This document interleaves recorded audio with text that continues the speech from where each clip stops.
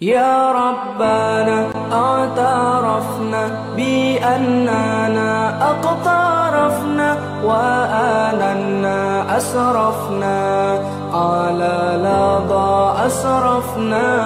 يا ربنا اعترفنا بأننا أقترفنا وآننا أسرفنا على لظى أسرفنا.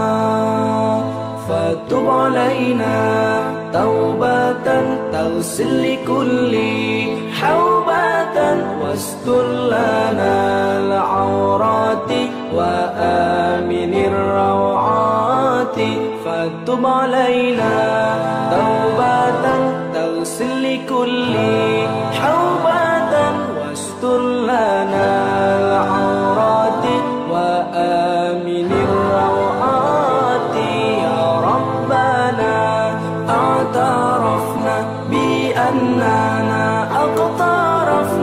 وآننا أسرفنا على لظى أسرفنا.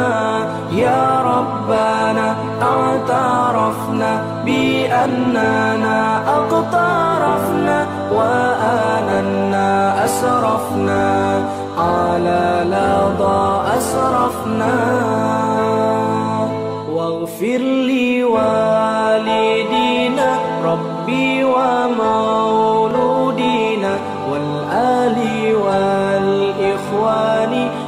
وسائر الخلان واغفر لي والدينا ربي ومولودينا والآل والإخوان وسائر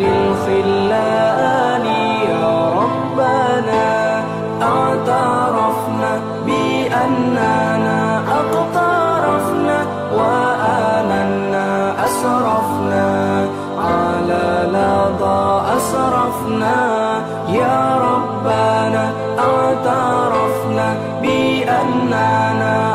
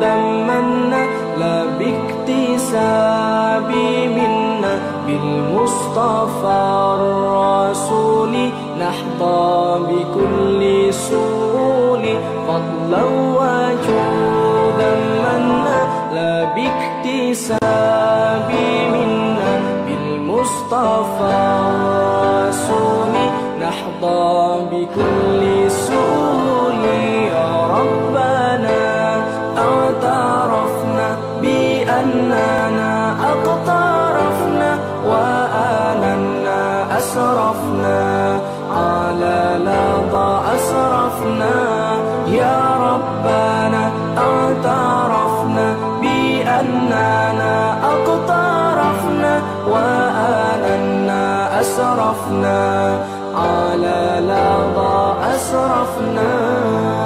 يا ربنا اعترفنا بأننا أقترفنا وآننا أسرفنا على لظى أسرفنا. يا ربنا اعترفنا بأننا أقترفنا وآننا أسرفنا على لظى أسرفنا.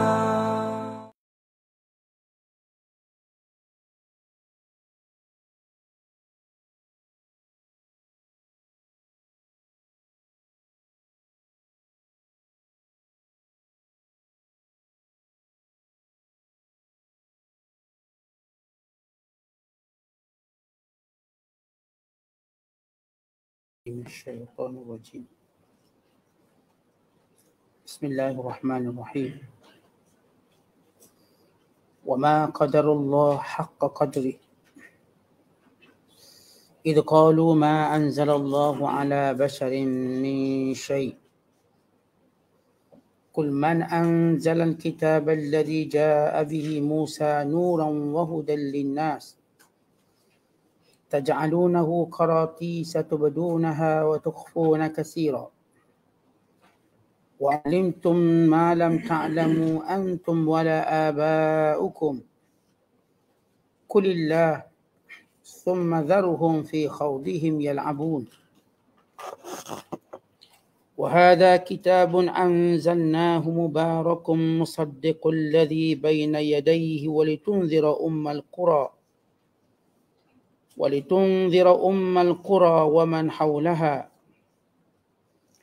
والذين يؤمنون بالآخرة يؤمنون به. وهم على صلاتهم يحافظون.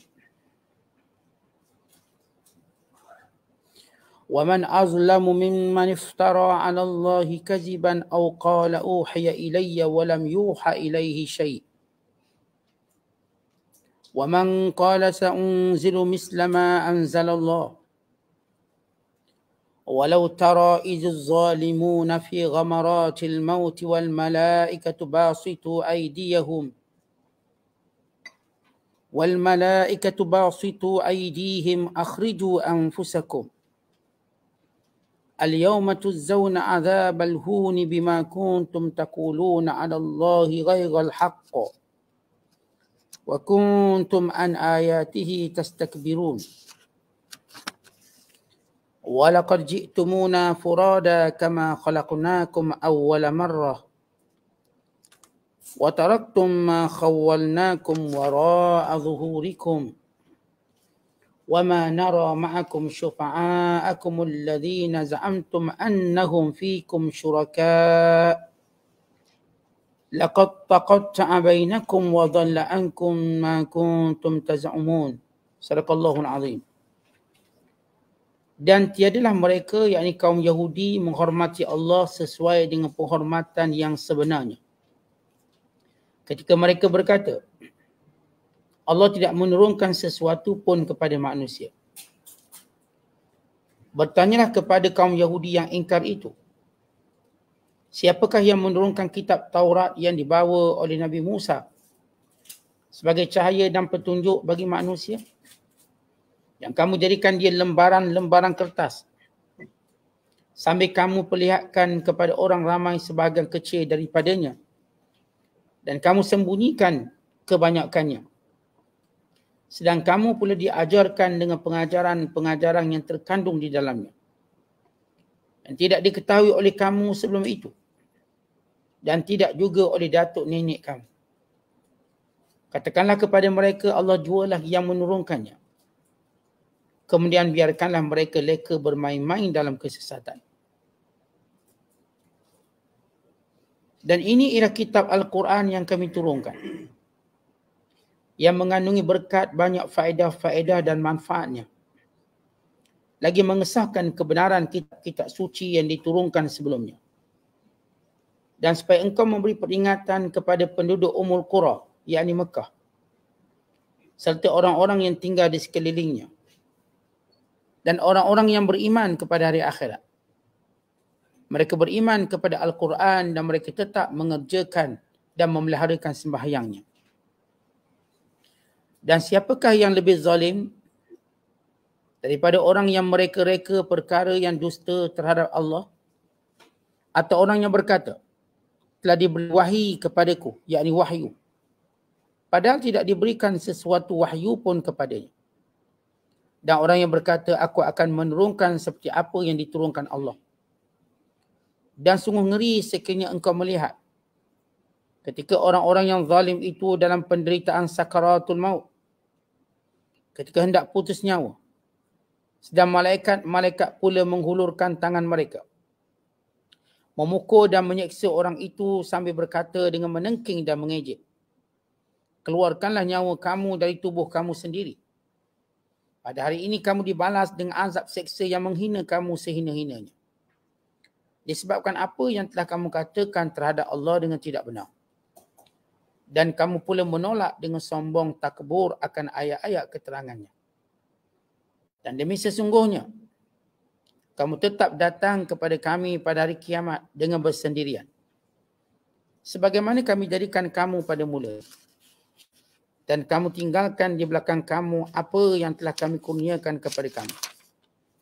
Dan kami tidak melihat beserta kamu penolong-penolong yang kamu anggap dan sifatkan bahawa mereka ialah sekutu-sekutu Allah dalam kalangan kamu. Demi sesungguhnya telah putuslah perhubungan antara kamu dengan mereka dan hilang lenyaplah daripada kamu apa yang dahulu kamu anggap dan sifatkan memberi faedah dan manfaat. Masih lagi dalam penafsiran suratul An'am, surah yang ke-6 pada juzuk yang ke-7, pada ayat yang ke-91 sehingga ayat 94. Ayat-ayat yang kita baca ikan ini menegaskan tentang kerasulan Nabi Muhammad sallallahu alaihi wasallam dan kebenaran wahyu dan kitab-kitab yang diturunkan kepada nabi-nabi sebelum ini dan juga Al-Quran yang diturunkan kepada Nabi Muhammad sallallahu alaihi wasallam serta peranan yang dimainkan oleh Al-Quran sebagai petunjuk sebagai hidayah penjelasan penerangan kepada manusia semuanya. Dan ayat yang kita bacakan ini juga menjelaskan tentang pembohongan serta pendustaan kelompok musyrikin Mekah kelompok ahli kitab terhadap Allah Subhanahu Wa Taala. Dan janji Allah akan hukuman yang bakal menanti mereka. Bermula dengan sakaratul maut. Waktu datang malaikat pencabut nyawa yang mencabut dengan sekeras-kerasnya. Sambil membentak mereka dan mengancam mereka. Dek kerana kesombongan mereka dahulu. Dan Allah juga menjelaskan tentang hakikat kejadian manusia yang akan pulang kepada Allah. Dan siapa yang akan membantu mereka kalau bukan amal soleh mereka. Pada hari terputus segala sebab dan segala usaha manusia. Apatah lagi sekutu-sekutu yang disekutukan kepada Allah Subhanahu Wa Taala. Intisari kandungan secara umum pada empat ayat yang kita bacakan. Bermula ayat 91 sehingga ayat 94. Bila Allah menyatakan wa ma qadarullaha haqqa qadri mereka tidak pernah memuliakan Allah dengan sebenar-benar kemuliaan. Berhubung dengan ayat yang kita bacakan ini, diriwayatkan oleh Imam Ibn Abi Hatim daripada Sa'id bin Jubair radhiyallahu ta'ala berkata, datang seorang Yahudi kepada Nabi sallallahu alaihi wasallam. Nama Yahudi ini adalah Malik bin Saif. Maka dia berbalah dengan Nabi sallallahu alaihi wasallam. Dia berdebat dengan Rasulullah. Lalu baginda sallallahu alaihi wasallam berkata kepadanya, "Anshuduka billadhi anzala at-Taurat 'ala Musa. Hal tajidu fi at-Taurat anna Allah yubghidu al-habr as-samin?" Bila mana Rasulullah sallallahu alaihi wasallam menyatakan tentang kerasulan baginda, maka dinafikan oleh orang Yahudi ini yang bernama Malik bin Sa'id. Salah seorang pendeta Yahudi. Ulama Yahudi. Maka dia datang untuk debat dengan Rasulullah untuk menafikan kerasulan.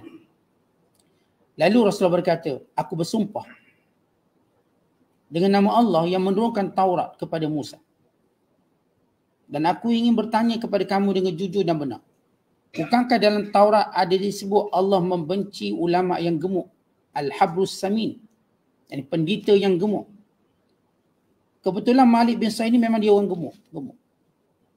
Dia datang lawan Rasulullah SAW maka dia bertambah marah. Lalu dia berkata, "Ma anzalallahu ala bashar min syai." Tak pernah ada wahyu pun atas dunia ni.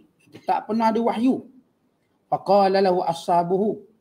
Lalu kawan-kawan pendeta Yahudi berkata kepada Malik bin Saif ini Yahudi ini, "Wahai hak celaka kamu, bukankah ada Taurat yang turunkan pada Musa?" Lalu Allah Taala turunkan ayat ini, "Wa ma qadarallahu haqqa qadri." Mereka tidak pernah memuliakan Allah. Maksudnya mereka tidak pernah mengiktiraf akan segala kitab yang diturunkan kepada mereka. Asalkan kalau berlawanan dengan hawa nafsu mereka, mereka akan tolak. Sebab itu si Yahudi tadi, bila Rasulullah berkata, bukankah dalam Taurat ada disebut bahawa pendeta yang gemuk dibenci oleh Allah? Merujuk kepada pendeta yang makan harta orang lain dengan tidak sebenar. Maka orang ni memang ada dalam Taurat. Akhirnya dia kata, tak pernah ada wahyu pun atas dunia ni. Wahyu pun tak ada. Dia menafikan even Taurat. Lalu kawan-kawan dia di kalangan Yahudi berkata, bukankah kita ada Taurat yang diturunkan? Maka Allah turunkan ayat ini. Bahawa mereka tidak pernah memuliakan Allah. Dalam riwayat yang lain, Datang orang Yahudi bertemu dengan Nabi sallallahu alaihi wasallam.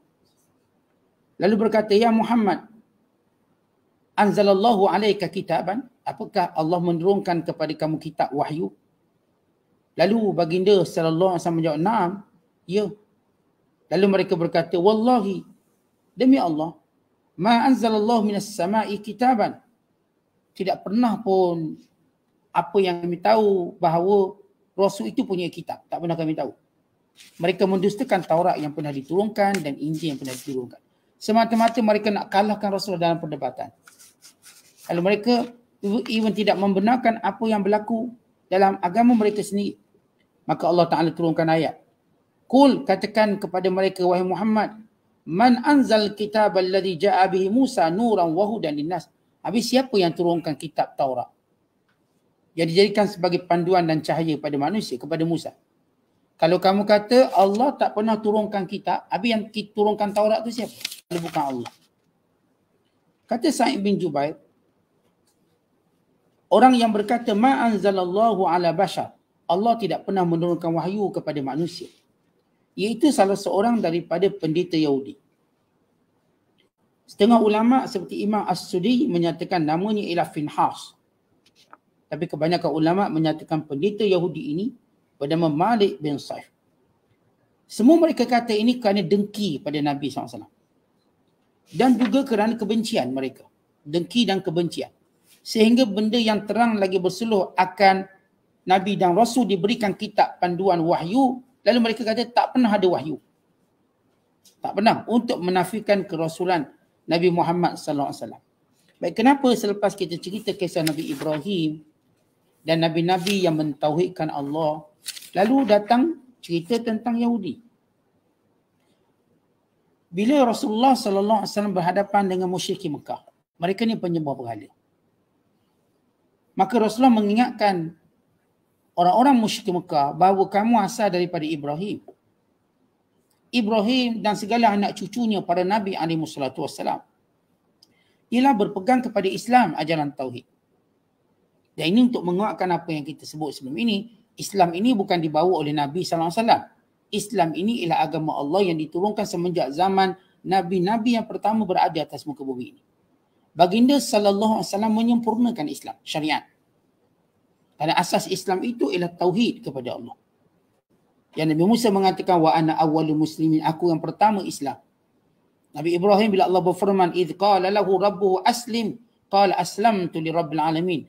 Dan ingatlah ketika Allah berfirman kepada Ibrahim, Islamlah kamu. Lalu Ibrahim berkata, aku Islam kepada Tuhan sekalian alam. Dan Islam, ia bukan sebagaimana didakwa kononnya Hindu lebih dahulu daripada Islam. Buddha lebih dahulu pada Islam. Hindu tertua di dunia. Buddha tertua di dunia. Bukan Islam tertua di dunia. Ia agama fitrah semenjak Allah turunkan Adam. Sehingga berlangsung kerasulan dan kenabian berakhir pada Nabi Muhammad sallallahu alaihi wasallam dan dipanjangkan lagi oleh para pewaris baginda SAW sehingga hari kiamat. Hari di mana munculnya Mahdi dan turunnya Nabi Isa. Maka selepas kematian Nabi Isa barulah berakhir Islam.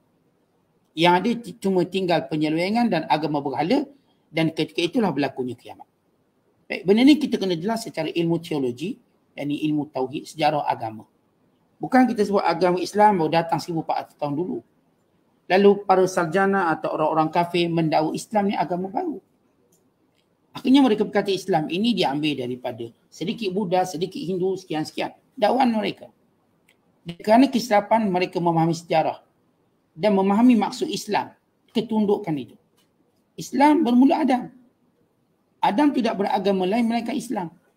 Demikian juga anak-anak zuriat keturunannya sehingga berlaku penyelewengan lalu Allah utuskan Nabi Nuh lalu kembali kepada Islam dan fitrah. Demikian agama dipelihara sehingga berlaku pula penyelewengan pada zaman Nabi-Nabi yang lain pula. Sehingga Nabi Allah Ibrahim berhadapan dengan mereka. Walaupun Nabi Ibrahim bersendirian dan berseorangan untuk mengingatkan mereka akan fitrah kejadian mereka dan fitrah keimanan mereka kepada Allah. Jadi baginda sallallahu alaihi wasallam diwahyukan oleh Allah untuk beritahu orang musyrik Mekah, kamu ni asal daripada keturunan Ibrahim, bukan Ismail yang beragama Tauhid. Kemudian Allah bawa pula kisah Yahudi sebab orang-orang musyrik Mekah bila nak lawan dengan Rasulullah, mereka ketandusan hujah mereka refer pada Yahudi. Mereka refer dengan ahli kitab untuk menanya pandangan atau mencari alasan-alasan untuk menafikan kerasulan Nabi Muhammad SAW. Maka Allah membongkarkan rujukan yang kamu cuba rujuk itu itu sendiri pembohong. Yang kamu rujuk wahai musyrik Mekah. Ialah golongan yang pernah diberikan kitab Taurat lalu diselewengkan, disembunyikan. Yang pernah diberikan wahyu lalu tidak pernah menghargainya. Mereka Yahudi yang kamu anggap lebih beragama itu tidak pernah langsung pernah memuliakan Allah. Sebab itu Allah sebut wa ma qadarullah haqqa qadri. Mereka tidak pernah memuliakan Allah. Dengan pindaan kitab, dengan tohmahan fitnah kepada para nabi yang telah diutuskan. Ini watak Yahudi dan watak ahli kitab tidak pernah mereka membesarkan agama Allah dengan sebenar. Kalau tidak masukkan kitab-kitab yang diturunkan diselewengkan dengan cepat. Mengikut hawa nafsu mereka dan mengikut habuan dunia yang mereka inginkan dan mengikut hawa nafsu pada pemerintah zaman mereka. Dan seterusnya. Maka rujukan yang kamu rujuk oleh musyrik Mekah itu ialah rujukan yang datang daripada orang yang tak pernah kenal Tuhan sebenarnya. Tengok dengan sebab marah pada Nabi SAW tu kata tak pernah Taurat pun tak pernah turun dari langit. Dengan mudah. Sehingga dibantah keras oleh rakan-rakan Yahudi mereka. Demikian watak golongan yang kamu ambil rujukan. Macam kita nak debat dengan seorang lah, kita tanya awak ni ambil ilmu daripada mana? Maka dia beritahu ambil daripada sini. Yang awak ambil ilmu tu pun sesat. Hujah tu hujah sesat. Jadi secara automatik runtuh hujah mereka. Kalau orang tulis tesis master ke PhD, rujukan di internet misalnya bukan daripada rujukan muktabar, bukan marji' mu'tabar, bukan reference yang boleh di, di, dipercayai. Dia ambil Wikipedia contohnya. Maka ini ghair muwaffaq, tak boleh dipercayai. Cannot be trusted, tak boleh dipercayai, tak boleh nak pegang. Dek kerana itu, hujah itu pun jadi hancur macam tu. Maka Allah kata ini Yahudi yang memang tidak pernah memuliakan Allah. Dan sejarahnya panjang yang telah kita ceritakan surat Al-Baqarah mempermainkan nabi-nabi mereka, bukan menisbahkan perkataan yang tidak ada kepada Tuhan dan mereka reka hukum dan banyak lagi. Kul man anzal kitab alladhi ja'a bihi Musa nuran wa hudan linnas. Kalau kamu kata tidak pernah ada nabi yang mendapat kitab, maka bagaimana kisah Taurat yang kami turunkan kepada Musa? Yang menjadi cahaya dan petunjuk kepada semua manusia. Taj'alunahu kamu telah menjadikan kitab Taurat yang mulia itu qaratis kertas-kertas yang dicatat. Ya, Musa AS menerima Taurat pada loh pada satu papan batu ditulis. Kemudian mereka memindahkan pada tulisan kertas-kertas mereka. Namun dalam perpindahan penulisan tersebut mereka sembunyikan sebahagian, mereka jelaskan sebahagian. Maka inilah maksud mereka tidak pernah memuliakan Allah.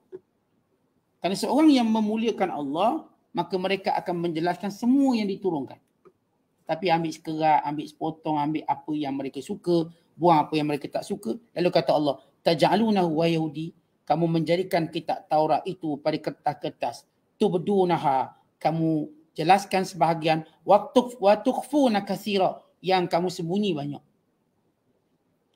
Yang kamu cerita, apa yang Allah turunkan sikit je kemuliaan kamu, kehebatan kamu. Tapi yang melaknat kamu, yang menegur kesalahan kejahatan kamu, itu kamu sembunyikan. Wa ulimtum ma lam ta'lamu antum wala aba'ukum. Sedangkan kamu sebelum ini diajar dengan ilmu yang tak pernah diajar kepada moyang-moyang kamu. Kebenaran. Kulillah, katakan Allah. Allah lah yang menurunkan Taurat. Allah lah yang mengajar ilmu yang kamu tidak tahu. Thumma zaruhum fi qawdihim yal'abun. Wahai Muhammad, kalau begitu perangai dan watak mereka, biarkan mereka bermain-main dengan agama mereka. Ya kerana Yahudi, bila mereka menafikan kebenaran yang dibawa oleh Nabi sallallahu alaihi wasallam dan mereka menjadi rujukan utama musyrik Mekah. Dan bila mereka nak berlawan dengan Rasulullah dan memberi maklumat-maklumat palsu kepada musyrik Mekah, Kata Allah mereka ni bermain dengan agama. Bermain. Mengikut nafsu. Biarkan mereka bermain. Kerana akan datang hukuman Allah. Maksudnya jangan ikut rentak mereka bermain dengan wahyu Allah.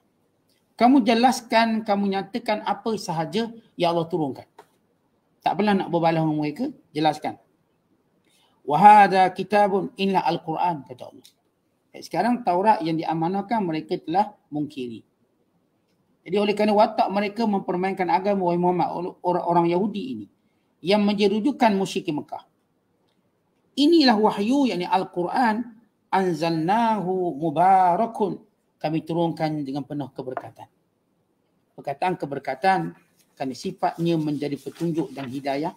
Kerana sifatnya yang men- mendisiplinkan manusia, memberi panduan kepada manusia akan bagaimana kehidupan-kehidupan mereka yang perlu dijalani, bagaimana kehidupan mereka ini perlu diikut peraturannya, iaitu Al-Quran yang menunjukkan pada jalan yang benar, yang menunjukkan kepada tauhid, yang menunjukkan kepada segala kemuliaan, yang menjanjikan syurga kepada orang yang mentaati Allah dan juga keampunan serta memberi amaran akan neraka dan azab Allah kepada yang menderhaka Allah dan juga yang menafikan kerasulan Nabi Muhammad sallallahu alaihi wasallam. Musaddiqul ladzi baina yadai. Kitab inilah yang membenarkan Taurat, Injil dan suhuf yang diturunkan sebelum ini. Kalau tidak kerana Al-Quran ini, saya tidak diketahui kitab-kitab lain yang pernah diturunkan. Sebab Yahudi dia tak nak promo Taurat ini pada orang lain. Sebab dia anggap itu eksklusif untuk dia. Apatah lagi perkara-perkara yang berkait dengan hukum hakam. Yang tidak menyebelahi dia. Maka Al-Quran ini yang membuka segala apa yang mereka sembunyikan. Baik Taurat, baik Injil, baik Zabur, baik Suhuf. Sebab itu kata Allah Saddiq membenarkan alladhi baina yadai apa sahaja yang berada pada tangannya yakni apa yang mendahuluinya daripada kitab Taurat, Injil dan Zaburnya walitunzira ummal qura dan dengan al-Quran ini engkau beri peringatan wahai Muhammad kepada penduduk Mekah ummal qura nama lain bagi Mekah. Kata Mekah ni ada banyak nama dia ada nama Mekah, ada nama Bakka, ada nama Haram atau juga dinamakan sebagai uh, kita katakan nama Ummul Qura, dinamakan juga sebagai Ma'ad ada banyak nama bagi kota Mekah. Al-Musharrafah, Al-Mukarramah ini. Antara nama lain bagi Mekah yang disebut oleh Allah dalam Quran ialah Ummul Qura atau Ummul Qura. Kata Allah Ta'ala Al-Quran ini bukan sekadar menceritakan kitab-kitab terdahulu yang dinafikan oleh orang-orang Yahudi dan juga oleh orang-orang Kristian dengan tokok tambah dan pengubahannya bahkan ia menjadi peringatan amaran kepada penduduk Mekah wa man haulaha dan orang yang berada sekitarnya. Ini seluruh kabilah-kabilah. Ini permulaan dakwah Nabi sallallahu alaihi wasallam. Kalau kita tanya apa hikmah? Baginda sallallahu alaihi wasallam memulakan dakwah di Mekah. Dan Nabi mengambil masa yang panjang selama 13 tahun. Sebelum Rasulullah sallallahu alaihi wasallam berpindah ke Madinah dan lain-lain. Kerana Mekah itu pusat berhala. Kerana Mekah itu adalah pusat kepimpinan. Kerana Mekah itulah pusat orang-orang kaya. Kerana Mekah itulah pusat keturunan paling mulia Quraisy. Bila Rasulullah sallallahu alaihi wasallam berjaya menyelesaikan settle benda ni, maka mudah bagi Rasulullah untuk tempat-tempat lain. Sebab itu kita lihat bila Mekah tunduk pada kekuatan ke kemuliaan umat Islam, maka seluruh kabilah lain tidak terus aku dan menerima Islam dengan mudah. Sebab dia punya siadah, dia punya ketuanan Arab di situ ketuanan Arab. Dia setiap bangsa dia ada ketuanan dia. Orang Melayu ada ketuanan Melayu dia. Ni Arab ada ketuanan Arabnya. Islam tidak menafikan ketuanan selagi mana ia berada pada sempadan dia. Kalau memang Allah jadikan setiap bangsa tu dia ada yang kuat. Ya Allah jadikan setiap negara ada bangsa-bangsa tertentu. Dan ada bangsa yang lebih kuat daripada bangsa yang lain. Secara kehormatan, kemuliaan nasab dan sebagainya. Dan ia mempengaruhi bangsa lain dia mempengaruhi bangsa lain.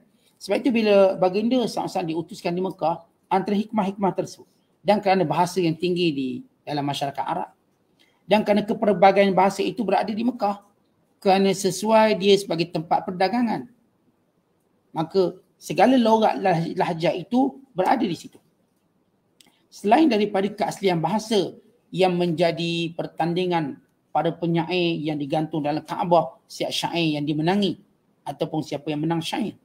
Maka ini punca Nabi mengambil masa 13 tahun. Dan kerana Al-Quran diturunkan dengan mukjizat bahasa. Ini di Mekah terkumpul bulara pakar-pakar bahasa di Mekah. Bukan di Madinah tak ada, ada. Madinah ada Hasan bin Sabit, Madinah ada beberapa penyair yang terkenal. Tetapi Mekah pusat Pusat segala ahli bahasa. Maka ia seolah Mekah ini indikator kepada dakwah. Berjaya di sini, maka dengan tempat lain mudah. Sebab setiap benda tu tuan-tuan kita ada indikator sesuatu untuk uh, kita mengukur atau mengagak kejayaan. Ha, lepas yang ni, kita selesai semua. Macam juga bila Rasulullah kata, kalau azab kubur lepas, yang lain senang. Kalau tak lepas di situ, susah. Kenapa disebut azab kubur? Bila baginda salam sama menyatakan, siapa yang selamat daripada kubur ini, maka selepas itu mudah. Kerana kubur ini masih lagi ada hubungan dengan orang yang hidup. Maka orang hidup supaya mengambil lagi kesempatan mereka masih hidup bagi melunasi kesilapan ahli ataupun ahli kubur ini. Sama ada hutang dia, sama ada menghalalkan usahanya, sama ada buat kebaikan padanya. Kerana ada sebahagian manusia lagi yang masih boleh beramal. Yang mungkin menyalurkan amalan tadi pada orang yang dah mati.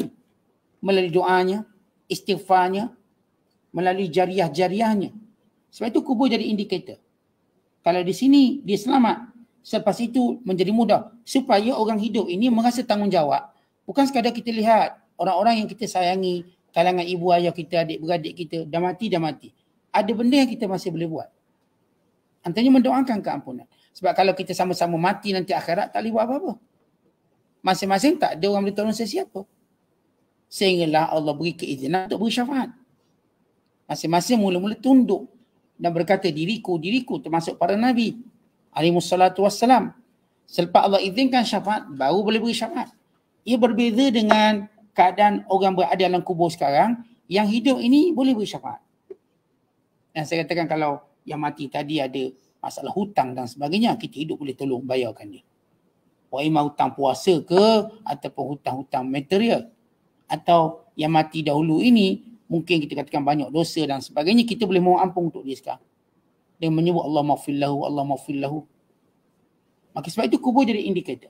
Sama juga Mekah menjadi indikator dakwah Rasulullah. Sebab itu bila ranap sahaja berhala di Mekah, maka tempat lain dengan mudah. Habis. Sehingga sebenarnya tanah Arab tidak ada lagi berhala. Bahkan tidak ada agama lain melainkan Islam. Sehingga Rasulullah menyatakan, La yashtami' dinani fi jaziratul Arab. Tidak sekali-kali akan berhimpun dua agama di sebenarnya tanah Arab selepas hari ini. Tak ada. Sampai hari ini kita tak nampak. Sebenarnya tanah Arab itu ada agama lain. Tak ada. Yang ada cuma Islam sahaja. Kemudian kembali kepada apa yang disebut oleh Allah. Walladzina yu'minuna bil akhirah. Dan ada pun orang yang beriman dengan hari akhirat. Yu'minuna nabi tanpa ragu-ragu berpegang teguh dengan Al-Quran wahum ala salatihim yuhafizun dalam keadaan mereka benar-benar menjaga solat. Baik Allah menyebut kesempurnaan iman seseorang hubung kaitnya dengan dua perkara. Pertama Al-Quran, yang kedua dengan solat. Dan kita tahu disebut dalam hadis tentang kemuliaan Al-Quran dan juga solat. Al-Quran dan solat ini sinonim sebab dalam solat itu dibacakan Quran. Dan sepakat ulama Al-Quran yang dibaca dalam sembahyang lebih afdal, lebih mulia, lebih besar pahala daripada dibaca luar solat. Kerana itu Imam Syafi'i rahimahullah ta'ala diriwayatkan, diceritakan oleh Ar-Rabi' muridnya, dia khatam Al-Quran dalam solat. Beliau khatam Quran dalam solat. Dan kerana itu Imam Syafi'i rahimahullah berpendapat berdiri lama lebih mulia daripada sujud lama. Kerana bila berdiri boleh baca Quran. Adapun sujud tidak dibolehkan baca Quran. Tentang ke kelebihan membaca Al-Quran dalam solat. Pahalanya lebih besar dan lebih mulia. Bukan banyak. Bukan sekadar baginda sallallahu alaihi wasallam. Para sahabat, para tabi'in, para ulama yang mereka ini khatam Quran dalam solat. Sebahagian khatam dalam satu rakaat, sebahagian dalam beberapa rakaat yang mereka laksana, yang mereka dirikan dalam qiyamul mereka. Jadi orang yang beriman dengan Allah dengan sebenar hari akhirat mereka ada hubung kait dengan Quran yang kuat dan hubung kait dengan solat. Ini juga yang saya sebut indikator. Nak tahu orang tu beriman kuat tak kuat, tengok macam mana hubungannya dengan Quran. Dibaca tak? Dipaham tak? Dia tahu tak tafsirnya. Dia tahu tak apa yang nak disampaikan, konteks, madmun, kandungan dalam Quran. Tak tahu. Dia tidak punya hubungan ataupun kekuatan imannya pada Allah. Sebab Allah memuji orang yang tadabbur Quran. Dan Allah mengingatkan orang yang tidak tadabbur apakah hati mereka terkunci. Dan Nabi sallallahu alaihi wasallam menggambarkan orang yang tak baca Quran itu bagaikan buah kurma yang tak ada bau. Boleh makan tapi bau tak ada. Dengan orang beriman yang baca Quran, buah yang wangi dan boleh dimakan. Itu buah turunjah atau utrunjah. Itu buah seperti buah buah orange ataupun kita katakan macam limau sangkis yang baunya sedap, makannya pun manis bersari. Dan apa tak lagi yang tadabbur lagi hebat mereka sentiasa yang disebut oleh Allah dalam Quran hudal lil muttaqin mendapat petunjuk sentiasa mendapat petunjuk dengan ayat-ayat yang dibacakan kemudian sesudah Allah menceritakan rujukan orang musyrik Mekah itu ialah rujukan yang khianat pada agama Allah yang tidak pernah memulihkan Allah bagaimana kamu merujuknya bagaimana kamu hai musyrik Mekah nak tolak dakwah Rasulullah nak tolak kerasulan Nabi Muhammad SAW Sehingga kamu lupa Nabi Ibrahim dulu agama Tauhid. Dan sehingga kamu lupa rujukan kamu ini rujukan fasik. Rujukan yang tidak boleh tep, dipercayai. Rujukan yang rosak. Mereka sendiri tidak pernah memulihkan Allah. Menyeleweng dan sebagainya. Lalu Allah Ta'ala menyebut menggambarkan. Bagaimana kelompok-kelompok yang menyeleweng dalam agama Allah ini. Kata Allah. Waman azlam. Siapa yang lebih jahat? Siapa yang lebih zalim? mimman iftara Allahi kadhiba daripada orang yang berbohong atas nama Allah. Apa yang Allah Taala tak turun dikata Allah turunkan. Apa yang Allah tak kata maka dikata. Hukum yang Allah tak sebut maka disebut. Ia merujuk pada bukan sekadar Yahudi termasuk musyrik Mekah yang menyembah berhala. Bila mereka kata kami sembah berhala ini sebagai perantaraan sebagai syafaat pada hari kiamat kelak. Walhal Allah Taala tak pernah cakap macam tu wama bila mereka berkata ma na'buduha illa liyuqarribuna ila Allahi zulfa kami tidak sembah berhala ini melainkan supaya kami lebih dekat dengan Tuhan padahal Allah tak pernah kata pun demikian lalu kata Allah siapa lebih zalim daripada orang yang mendustakan atas nama Allah Subhanahu wa taala yang menyatakan sesuatu yang tidak dikatakan bukan yang mengaku nabi pula walaupun dia tidak diberi kenabian atau yang menjadikan bagi Allah itu sekutu-sekutu ini semua berdusta pada Allah. Au qala uhya ilai atau yang mendakwa bahawa telah diwahyukan kepada kami. Walam yuha ilai syai sedangkan dia tak pernah mendapat wahyu.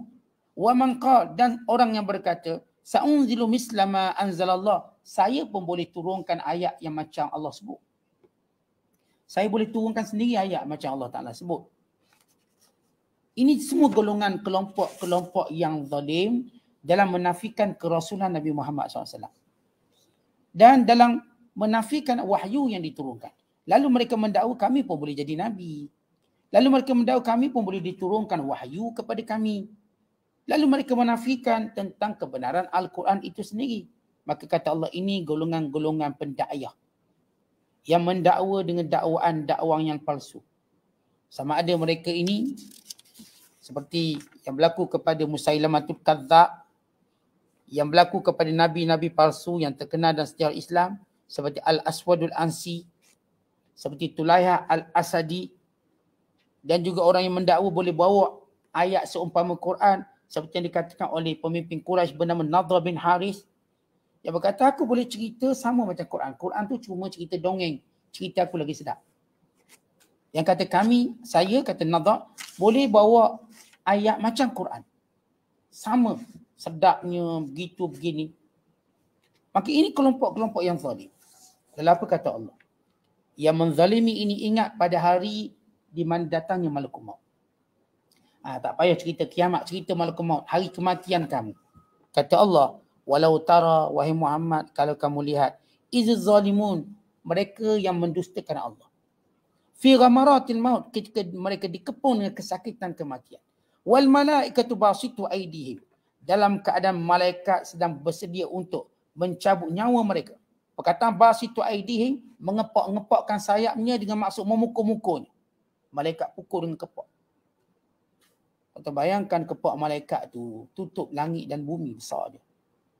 Kepak malaikat tu sekuat-kuat senjata yang Allah berikan pada makhluk ni.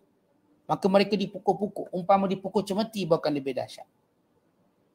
Bila mana malaikat ni beritahu, hei orang kafir, kamu akan dibalai dengan azab Allah yang paling keras. Lalu orang kafir tak nak keluar nyawa dia. Sebab dah tahu akan kena azab ni. Lalu mereka cuba menyembunyikan. Roh bersembunyi dalam badan. Lalu malaikat memukul-mukulnya supaya keluar roh tadi. Sambil berkata, malaikatnya berkata, Akhriju anfusakum. Keluarkan roh kamu. Keluarkan. Keluarkan diri kamu. Sebab roh tadi menyorok kerana takut. Maka keluarkan diri kamu. Al-yawm hari ini. Tuzawna azabal hun. Kamu akan dibalas dengan azab yang paling hina. Bima kuntum takulun disebabkan perkataan kamu Allah kepada Allah ghair haq dengan penuh pendustaan dan pembohongan. Wa kuntum an ayatihi tastakbirun dan kamu sombong dengan segala perintah Allah. Dua kesilapan mereka. Pertama takbur. Berbohong atas nama Allah. Yang kedua sombong. Bila lengkap dua ni maka sempurnalah azab Allah. Kekal dalam neraka dan diazab sampai bila-bila walaqad ji'tumuna furada kamu semua maka Allah menyebut hakikat semua manusia tadi cerita golongan-golongan yang mendustakan kerasulan Nabi Muhammad SAW mempermainkan perintah Allah menafikan wahyu. Kali ini Allah menyebut secara umum walaqad ji'tumuna furada. Sesungguhnya kamu akan datang kepada kami bersendirian. Kama khalaqnakum awwala marrah. Sebagaimana kami ciptakan kamu bersendirian. Waktu kami ciptakan kamu tak ada sekutu tak ada berhala tak ada benda lain melainkan kamu dan kami. Ingat balik, kamu dulu masa datang, adakah lahir-lahir itu semua berhala? Kamu ikut peraturan kami, perintah kami. Tiba-tiba kamu jadikan bagi Allah sekutu, ingat kamu akan datang bersendirian tanpa ada sekutu yang kamu dakwakan. Sebagaimana kamu dahulu diciptakan. Taraktum ma khawalnakum dan kamu akan tinggalkan apa sahaja yang dimiliki oleh kamu, apa sahaja yang kamu syirikkan dengan Allah Subhanahu wa taala azhurikum di belakang kamu. Maksudnya tak akan lagi beri manfaat harta benda kamu, anak pinak kamu, sekutu-sekutu kamu yang selain pada Allah, semuanya kamu tinggal belakang. Wa ma nara ma'akum syufa'akum alladhina kuntum alladhina za'amtum. Dan kami takkan lihat mana-mana sekutu-sekutu bersama dengan kamu. Yang kamu dakwa akan menolong dan membantu kamu. Annahum fikum syuraka. Yang kamu dahulu sekutukan kami dengannya. Laqad taqatta'a bainakum. Hari ini terputus segalanya tinggal kamu bersendirian. Wa dhalla ankum. Dan sia-sialah apa yang telah kamu lakukan. Apa yang kamu dakwa sebelum ini? Yang kamu dakwa patung ni Tuhan. Yang kamu dakwa ini boleh tolong ini boleh bantu. Semua dakwan itu tak laku di sini. Kamu akan menghadap Allah bersendirian. Dihisap dengan amalan dengan kejahatan. Atau dihisap dengan ketaatan dan kebaikan kamu. Yang baik maka beruntung. Yang jahat ingat kamu tak akan ada pembantu. Kamu tak akan ada penuh. Terputus segala sebab. Zuriat dan keturunan, kawan, sahabat dan apa sahaja yang kamu dakwa boleh membantu, memberi syafaat. Semuanya di sini tidak lagi berguna. Yang melainkan tauhid kepada Allah Ta'ala. Wallahualam. Assalamualaikum warahmatullahi